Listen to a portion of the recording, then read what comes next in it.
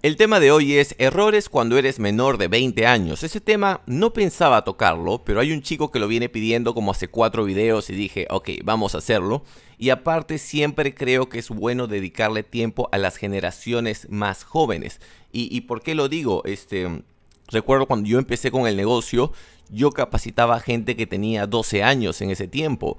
Eh, tenía clientes de 15, 16 y muchos me decían, ¿para qué pierdes el tiempo con ellos? Y no es que pierdas el tiempo, sino que mira, ya pasaron 11 años y ahora ellos son mis clientes. Y por eso tenemos que darnos ese momento de ayudar a los más jóvenes, por, por varias razones, pero una, para que ellos puedan superarse más rápido y darles la información que a veces no nos dieron a nosotros y al mismo tiempo para que ellos entiendan que nosotros podemos trabajar en equipo. Hay una gran narrativa que se maneja en redes sociales e incluso en medios de comunicación que tratan de poner a la gente joven versus la gente adulta, como si fuéramos dos equipos diferentes. Y somos el mismo equipo, somos una sociedad que trata de mejorar.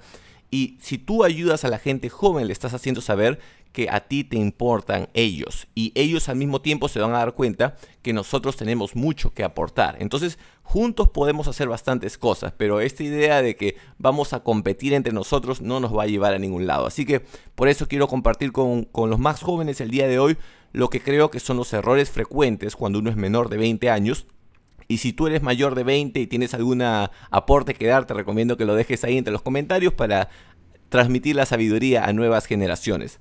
Antes de empezar, quiero agradecer a mi auspiciador, como siempre a mí mismo, josebalta.com.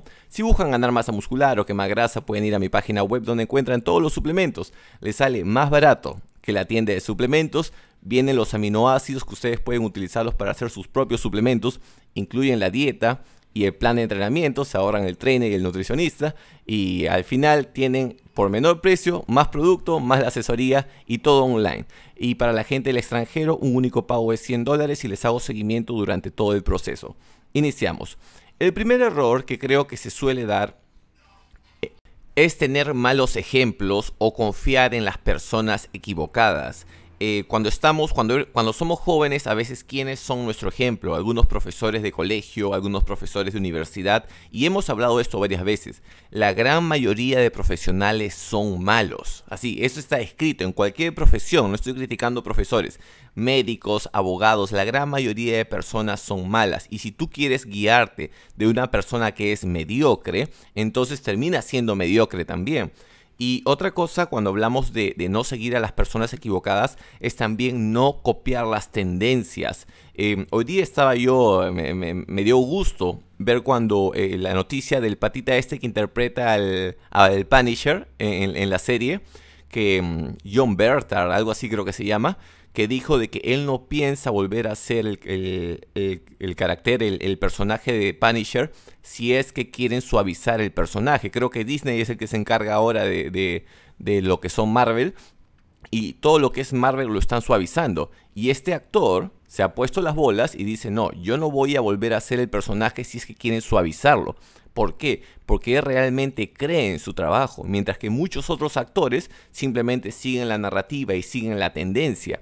Y lo mismo sucede cuando tú eres joven. Van a haber tendencias y si tú copias la tendencia, eres uno más del montón. A veces esta necesidad de querer, de, de querer sentirnos que somos parte de un grupo, lo único que hace es quitarte tu propia identidad. Recuerdo cuando estaba en el colegio, eh, estudiar administración era condenado. Recuerdo en las capacitaciones que había, una vez fue un doctor un imbécil y, recuerdo que decía, ¿para qué estudiar administración? Decía, yo soy administrador y nunca estudié administración.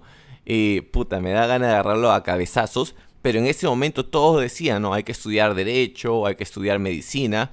Y, y, a los que nos gustaba el negocio estábamos en nada. No es como ahora que la gente se da cuenta que los negocios son la voz. Pero antes no, antes estudiar administración, estudiar algo que tenga que ver con negocios era mal visto. Y ahí puedes ver, por eso siempre tú chequea a quiénes vas a seguir y, chequea que la persona que está hablando también hace lo que dice. Y, sobre todo hay que tener mucho cuidado cuando la gente presume mucho sus cosas.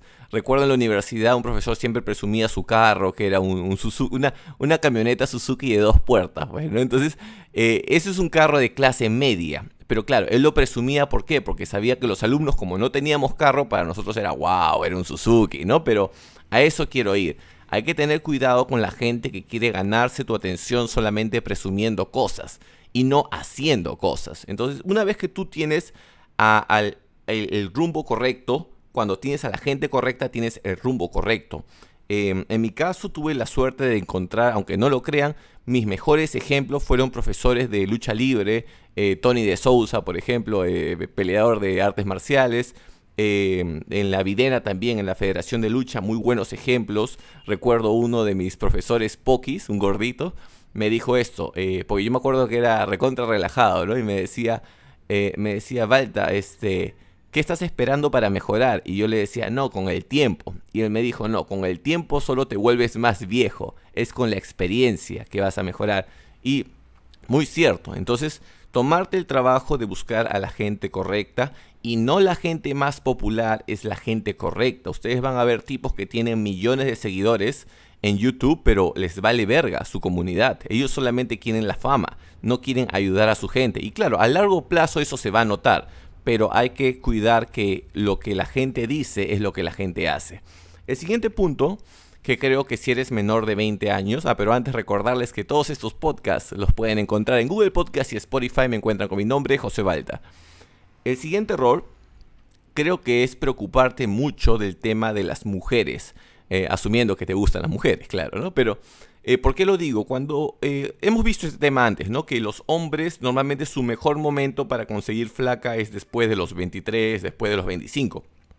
Cuando tú eres más joven estás jodido porque las chicas de tu edad quieren salir con los chicos mayores y las chicas mayores tampoco quieren salir con los adolescentes. Em, por eso eh, te recomiendo, ¿no? Si, si consigues flaca, sin hacer mucho esfuerzo, bien, ¿no? Felicitaciones. Pero si no puedes conseguirla, no te sientas mal. Si llega el fin de semana y todos están divirtiendo, no te sientas mal porque la gente está saliendo, porque en algún momento va a llegar tu, chance de empezar a salir. Y aprovecha ese tiempo libre más bien en desarrollar habilidades. Eh, Em, si está, yo recuerdo los fines de semana durante toda la época de colegio e incluso universidad, fines de semana me quedaba leyendo libros de marketing, estudiando algo, porque decía, si no salgo, al menos sigo incrementando mi valor. Y esa era la lógica, o sea, nunca estás perdiendo. Si sales, te estás divirtiendo, y si no sales, estás incrementando tu valor. Pero siempre esa mentalidad de que hay una manera de que tú puedes seguir avanzando. El siguiente tema es el tema del tiempo como hablé del caso de mi profesor Pokis, ¿no? Que me dijo, el tiempo no te hace mejor, solo te hace más viejo. Y es cierto, eh, cuando somos más jóvenes a veces pensamos, no, en el futuro esto se va a arreglar. Y estamos pateando el problema a nuestra versión futura. Y luego cuando ya eres mayor dices, no, ya soy muy viejo para hacerlo. ¿Entiendes? Entonces, nunca eh, patear las cosas y tampoco dejar que la gente, o, o, tampoco creer que porque eres joven no tienes la razón. Eh, no importa qué tan joven seas, muchas veces tú tienes más sentido común que la gente mayor. Eh, este dicho, ¿no? El diablo es, es sabe por viejo y no por diablo. No, el diablo sabe por diablo. Y lo mismo te digo, em, vas a darte cuenta, tú puedes ser que vas a la universidad y vas a escuchar a profesores hablando pajas. No es que todos los profesores sean malos, pero el 90%, 95% de los profesores son malos. Y ¿Y, ¿Y por qué doy el énfasis en los profesores? Porque son ellos los que están capacitando a los siguientes. Entonces, tú estás en una posición nada fácil porque tienes que buscar entre un puñado de gente muy pequeña quién es tu verdadero modelo a seguir. Y, al final el, el tema está de que solamente siendo consistente, haciendo las cosas de manera constante, vas a lograr eh, el, conseguir lo que tú quieres y hay que tener paciencia. Sobre todo, paciencia es lo más importante. No importa que tu amigo haya hecho 10 eh, mil dólares en Chiba Inu, que tu amigo haya invertido en NFTs, lo que sea, tú enfócate en lo tuyo, porque si no te vas a distraer y nunca vas a avanzar. El siguiente tema es el tema de la platita. No deberías no deberías de preocuparte y al mismo tiempo debes de preocuparte más bien en entender la platita. Cuando recuerdo en la universidad, eh, había una chica bien nalgona que era bien cercana a mí y, una vez este, yo estaba yéndome y me pidió, me dijo, ¿ya te estás yendo al paradero? Y yo dije, sí, y me acompañó. Y yo dije, ah, puta, perdón, voy, a fornicar, ¿no? Y estábamos caminando, contando chistes, todo, y de ahí me dijo que le iban a recoger. y vi que eh, llegó a recogerla un, carro deportivo y la tipa se subió, ¿no? Y cuando la vi quien estaba manejando en ese tiempo, porque yo tenía creo que 18, 19, habrá sido un tipo de 28, 30, y en ese tiempo yo decía, ah, es un viejo, ¿no? Es un viejo, porque es la, perspectiva. Cuando eres joven, un huevón de 30 es viejo. Y, y en mi cabeza está, oye, tengo que hacer plata para eh, poder tener eh, esta chica, si quiero alguna vez, ¿no? O una chica más o menos similar. Y, sí, es cierto, cuando tienes más platita es más fácil conseguir las chicas, no solo por el tema del dinero, sino ya hemos visto por qué, pero en, en videos previos.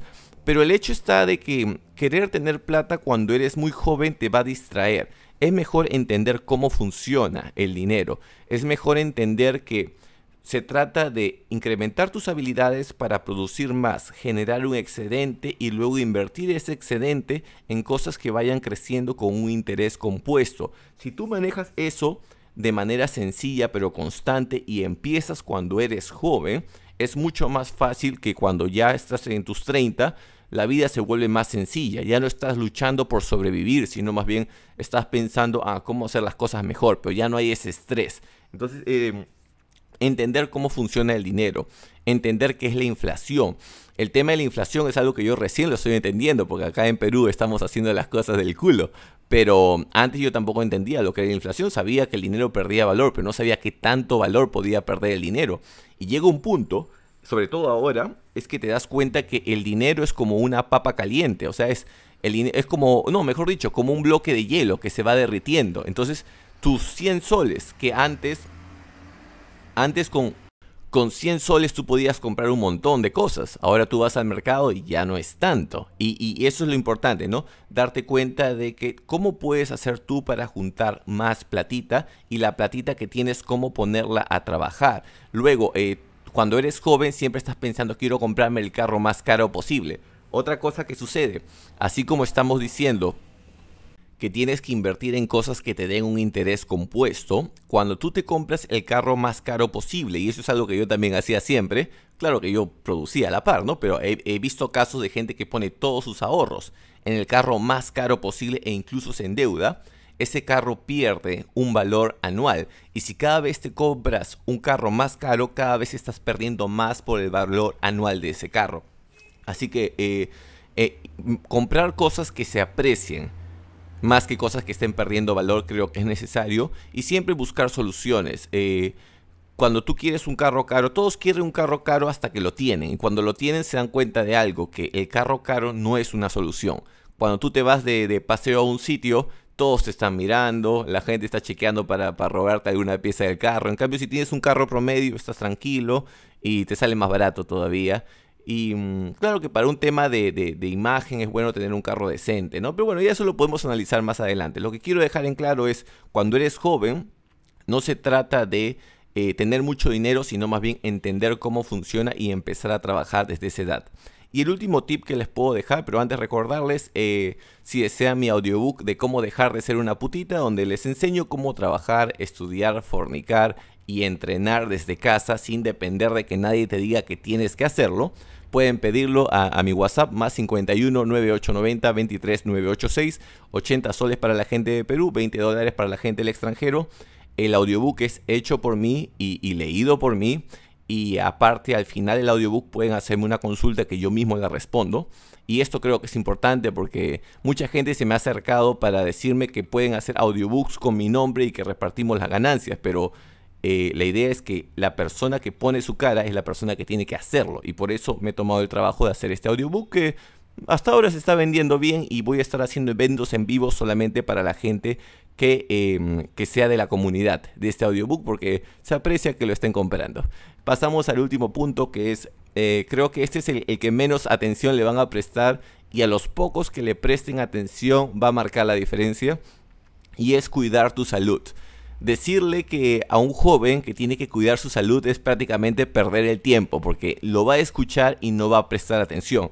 Pero te pongo un par de casos. Cuando yo tenía 20 años o 22 años, recuerdo, yo ya me estaba cuidando porque estaba entrenando y todos mis amigos del colegio estaban comiendo chisitos, emborrachándose. Eh, todos hemos tenido una borrachera, pero habían casos que ya eran constantes, que eran todos los fines de semana. Han pasado los años, 26 años, 27 años, y estos chicos están con problemas al hígado, y eso que no, no, han, solamente tomando alcohol, ¿ah? problemas al hígado, eh, eh, sobrepeso, gordura. A veces da pena ver a gente de 30 años que tiene puta, una obesidad que, dice, no, ya los años, o tienes recién 30 años, tienes 32 años y dicen los años. Em, es increíble cómo malas decisiones pueden castigar tu versión futura. Cuando te das cuenta que si tú te pones las pilas ahora, estás suavizando tu trabajo de, de años futuros, todo se vuelve más tangible, porque cada esfuerzo que haces ahora va a hacer que las cosas sean mucho más fáciles después. Y, sacrificar tu yo presente por tu yo futuro siempre paga, siempre es la fija. Em, a veces uno dice, no, pero tengo que vivir un poco, y después te das cuenta, no, las bolas, mejor sigo trabajando ahora porque el mundo está cambiando muy rápido y hay mucha cultura de relajo. No dejes que esa cultura de relajo te agarra te agarre, júntate con las personas correctas. Y espero que les haya gustado el episodio de hoy. Si tienen más temas que deseen que trate, pueden dejarlos en la parte de los comentarios. Y si desean seguirme en mis redes sociales, en Instagram me encuentran como Tío Balta y en Facebook les recomiendo que me sigan. Voy a estar sorteando hoy día un quemador entre los compartir de los memes como facebook.com slash tío Balta 69.